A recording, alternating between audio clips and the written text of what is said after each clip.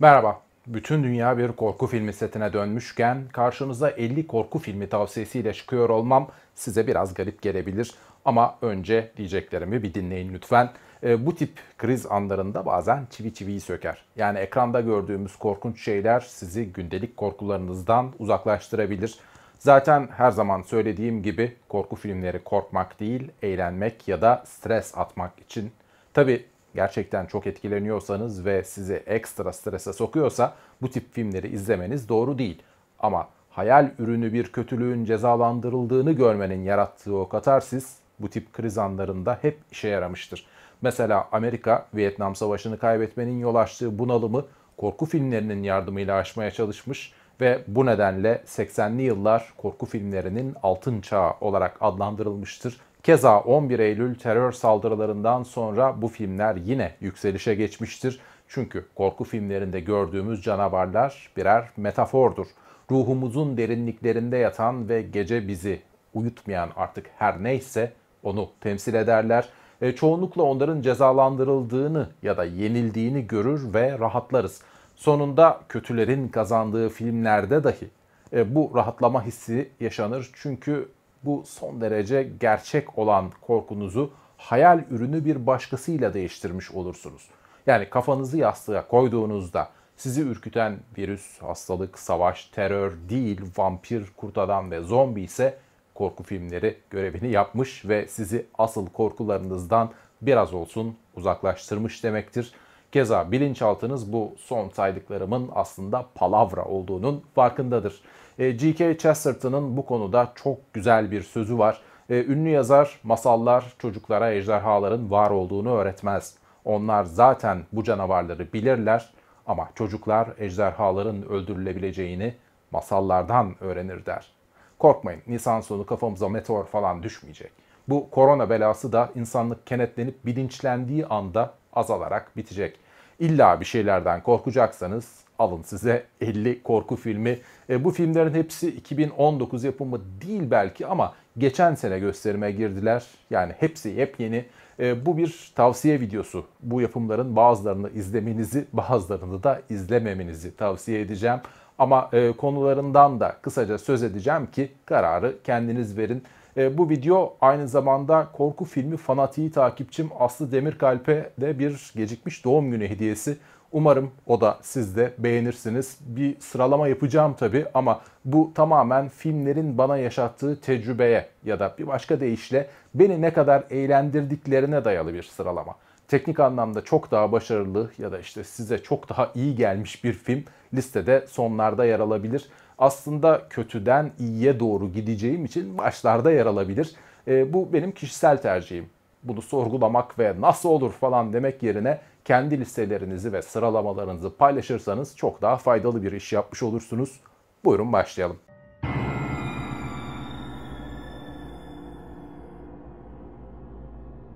Mary başrollerinde Gary Oldman ve Emily Mortimer'ın olduğu bir lanetli gemi filmi. Klasik Amerikan ailesi diyebileceğimiz kahramanlarımız eski bir yat satın alıp onu gezinti teknesi yapmayı planlıyorlar ama bu yat lanetli. Denizin ortası da bunu fark etmek için çok korkunç bir yer. Konu ilginç ve oyunculuk da tahmin edebileceğiniz gibi çok iyi ama işlenişi ben pek başarılı bulmadım. Tamamıyla vakit kaybı diyemem ama büyük umutlar da beslemeyin.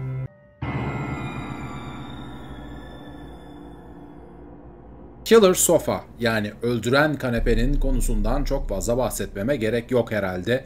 İçine Dibuk yani Yahudi mitolojisine göre lanetlenmiş bir ruhun girdiği kanepe bir hatuna kafayı takıyor ve aralarına giren herkesi öldürüyor. Aslında son derece eğlenceli olabilecek kadar absürt bir konusu var ama kendini fazla ciddiye aldığından mıdır nedir benim listemde çok parlak bir yere sahip değil.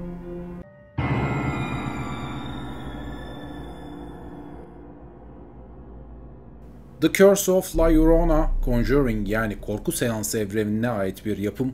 Sosyal hizmetlerde çalışan bir kadın kaybolan iki çocuğu araştırıyor.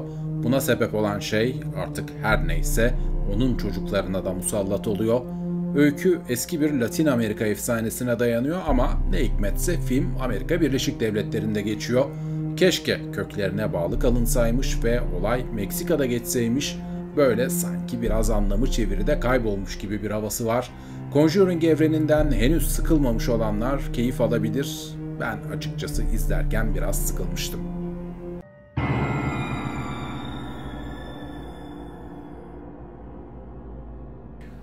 Polaroid biraz içine kapanık ama fotoğrafçılık konusunda çok yetenekli bir lise öğrencisi olan Bird'ün eline antika bir kameranın geçmesiyle başlıyor. Bu kamera lanetli ve her kimin fotoğrafını çekerse bu talihsiz kişi bir hayalet tarafından öldürülüyor. Bird ve arkadaşları da makinanın yeni kurbanları olmamak için bu esrarengiz olayın arkasında yatan gizemi çözmeye çabalıyorlar. Bu aslında açıklamalar bölümünde linkini bulabileceğiniz kısa filmi temel alan bir yapım. Bence kısası çok daha etkileyiciydi ama bu da fena değil.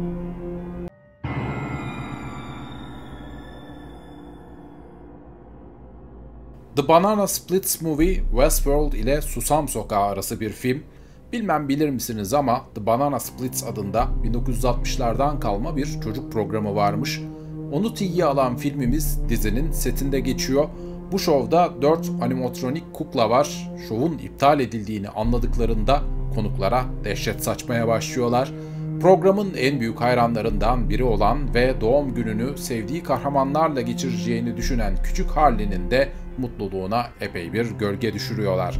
Film korku komedi ve oldukça da kanlı. Keşke orijinal şovu bilseydik eminim o zaman çok daha fazla keyif alırdık.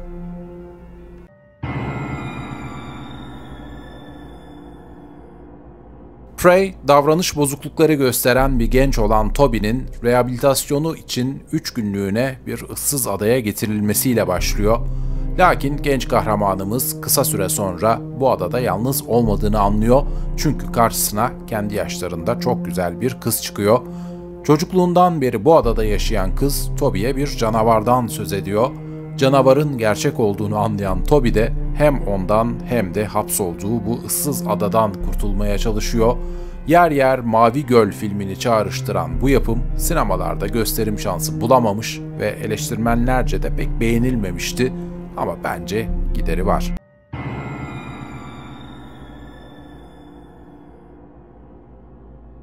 Echoes of Fear filminde dedesi aniden ölen Alisa'nın ondan miras kalan eve yerleşmesine tanık oluyoruz.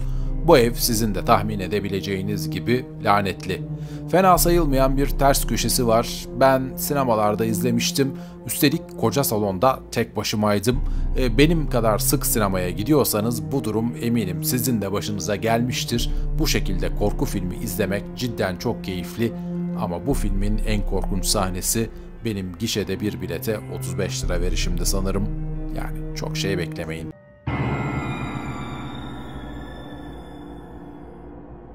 Wounds, Army Hammer, Dakota Johnson ve Zazie Beetz gibi sevilen oyuncuların yer aldığı bir babak anvari filmi. Bir barmen olan Will, barda unutulmuş bir telefon buluyor ve bu telefona gelen mesajlarla hayatı alt üst oluyor. İranlı yönetmen Babak Anvari benim bugüne kadar izlediğim en iyi cin filmlerinden biri olan Under the Shadow'u yönetmişti. O yüzden beklentilerim çok yüksekti Filmde açıkçası çok iyi başlamıştı ama sonlara doğru biraz hayal kırıklığına uğrattı. Belki bunu değil de Under the Shadow'u izleseniz daha iyi.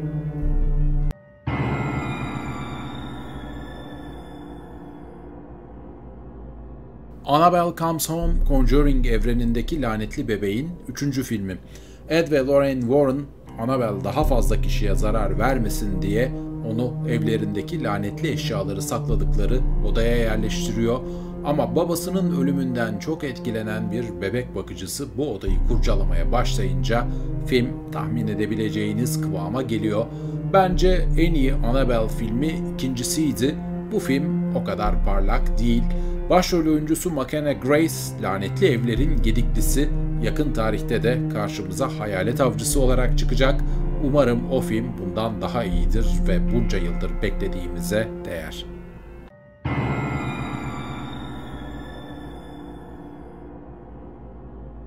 Mercy Black adı sizi yanıltmasın bu aslında bir Slenderman filmi. Duydunuz mu bilmem ama internet fenomeni Slenderman'in gerçek olduğuna inanan iki kız sınıf arkadaşlarını ormanda bıçaklamış ve Slenderman'e kurban etmeye çalışmışlardı. Hatta bu olayı işleyen Beware the Slenderman adında çok güzel bir HBO belgeseli de var. E, bu film o trajediyi anlatıyor aslında. Sadece ormandaki tekinsiz yaratık dahil herkesin ismini değiştirmişler ve hikayenin 20 sene sonrasını anlatmayı denemişler. Özellikle az önce önerdiğim belgeselin üzerine izlerseniz bence bu filmden de keyif alabilirsiniz.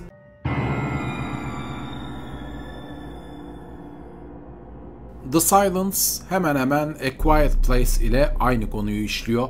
Dünya ses çıkaran her canlıyı avlayan yaratıkların istilası altında ve işitme engelli bir kız ailesiyle birlikte bu saldırıdan kurtulmaya çabalıyor.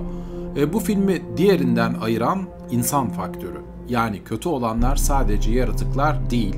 Sabrina dizisinden tanıdığımız Kiernan Shipka ve Miranda Otto bu kez hala yiyen değil ana kız rolünde, baba rolünde de Stanley Tucci var. Oldukça beğenilen A Quiet Place'ten hemen sonra çıkmasa bence daha çok ses getirirdi bu film.